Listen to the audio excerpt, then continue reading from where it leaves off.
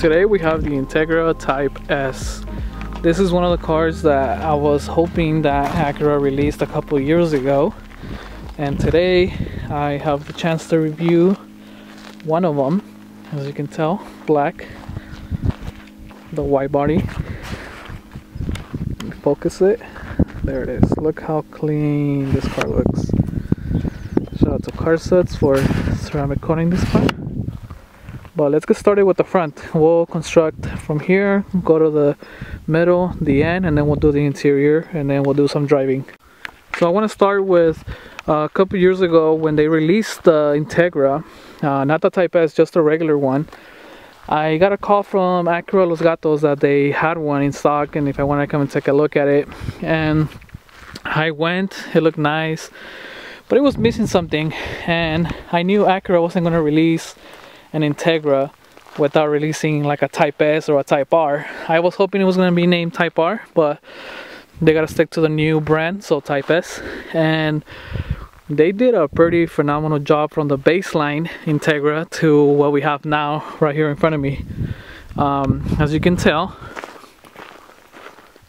it's wider than the stock Integra.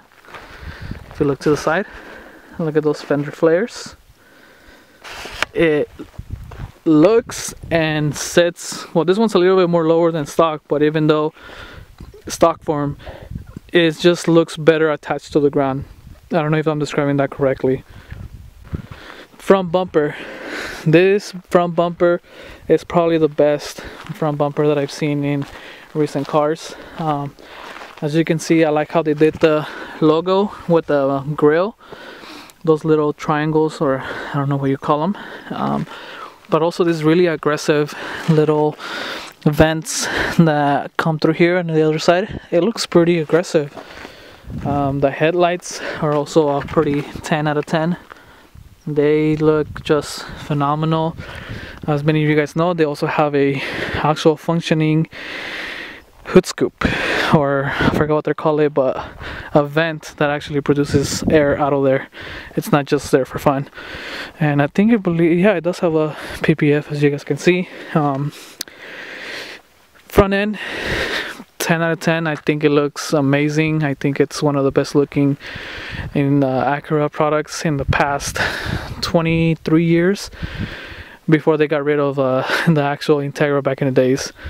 Um, I know the engine is a 2.0 turbo uh, K20 it's a K20C1 and it's doing about 320 horsepower.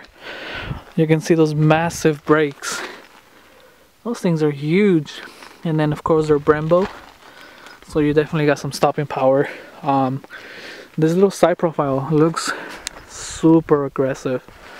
I really love this car. Alright let's go to the rims wheels, whatever you guys want to call, or find in the comments below. This one has a 265 30 uh, 19. Uh, again, they're massive, but they look so freaking good. Uh, Michelin, what are these? Michelin Pilot Sports 4Ss.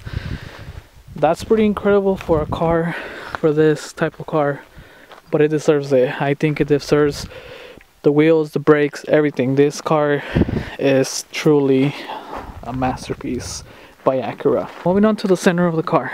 Um, pretty solid. The lines are pretty pretty nice how it starts down there and it goes slowly, slowly up in the hatch form. Alright, let's move to the back of the car. Again, you have pretty good, decent brake in the back. Car is front wheel drive, if you guys didn't know. But in the back, you're still packing a good uh, size caliber and of course it's still Brembo uh, with the Michelin Pilots 4Ss in the back as well. So you get pretty good grip. These tail lights they remind me of the Genesis Mercedes tail lights but I think Acura just perfected them. How nice that they come from here down and then go up. They kind of remind me like a butterfly type of tail lights. Um, the badge type S pretty cool. Uh, you have the little chrome black and the red. Nice spoiler and it's a hatchback. It's not a trunk that you just pick up. It's an actual hatchback. Um, you have the three exhaust which is pretty nice. And actually when he turned it on earlier before he left it sounds deep. Um, on other videos when I watched the reviews of this car it kind of sounded like it wasn't gonna have that deep tone. But in person the pops and bangs it sounds deep. It almost sounds like you're next to a scat pack or something. Like it has a nice deep tone towards the exhaust side and I'm here for it. Um, again you have those fender flares on the front and also on the back. But right here you can kind of see where it kind of fades back into the body and 10 out of 10 on the rear too. Um, the little uh, what do you call these? Reflectors are pretty nice. They don't have nasty looking. You have some little vents. I don't know but they're pretty nice too. Um, I think the aftermarket community is going to have a lot of fun with this car once they start producing way more parts. But overall uh, the rear I give it a 10 out of 10 as well. So now let's see. Um, we cover the front the center and the back. Wheels tires engine. Um, we're gonna see if we can get into the interior right now. But I know these cars are really expensive. The market kind of pushed them really expensive out of reach because I really wanted one but when they came out and they were telling me how much they were going for I couldn't justify it but I am glad that somebody in my area got one because now I can review it. And I'll probably get one um, second market because I really really really want one. It's a really good car for uh, daily driving while also I'm pretty sure you can hit the track and have fun without really doing much. Uh, 320 is pretty good. Um, other than that yeah let's go and check out the interior all right let's go over to the interior. As you can see black on red leather. This is a phenomenal interior. Um, I know a lot of you guys are gonna say oh it looks like the Civic. Yeah but these he put them after so don't trip if your car doesn't have this when you buy it. But a, lot of things that I heard was about the ELS Studio 3D speakers. Um, sound pretty freaking badass. He added this and then this little area here around the shift knob also shout out to car suds and then um, I really like the contrast of the black with the red. Um, I know the Civic Type R brought the whole red interior but I think just having these little accents of red here and there the stitching on the steering wheel. Hold on. The stitching on the steering wheel the stitching over there. Pretty nice. And then also you have your Type S badge on the floor mat right here on the door. Pretty solid. I think this lip makes it look amazing. Um, the air vents don't know what the, the, little texture is but it looks pretty luxurious. That radar doesn't come with it. Don't come me on the comments. You also have the touch I don't know is it is it touch screen or just like that bro? The screen. Uh, touch. touch screen? Yeah. Okay.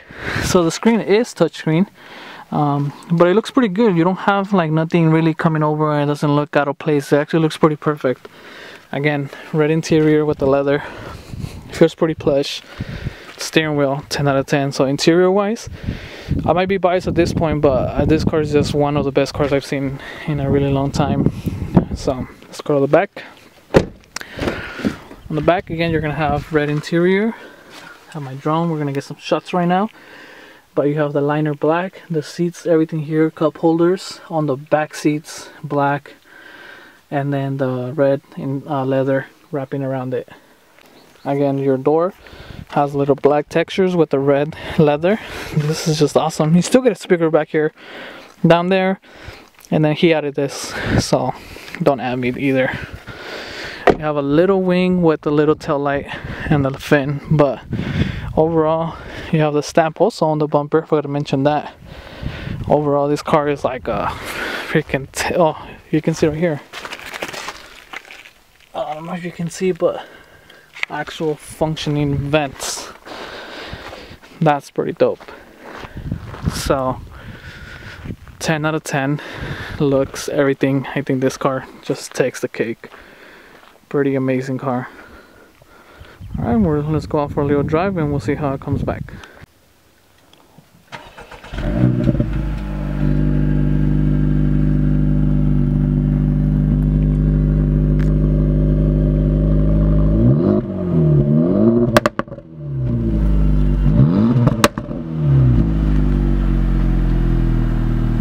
After getting behind the wheel, the transmission, the torque, the power delivery on this car was phenomenal. I'm definitely gonna have to buy one of these cars. I don't know how I'm gonna do it, but I'm gonna have to get one of these. Um, I think it's a great daily driver with enough power to have fun on the back roads on your way home or on your way to work. Doesn't matter. Um, definitely rate this car a perfect 10. Of course, I'll be going to sound bias. Real number would be like a 9.5 out of 10. But for me, Acura did not miss on this car.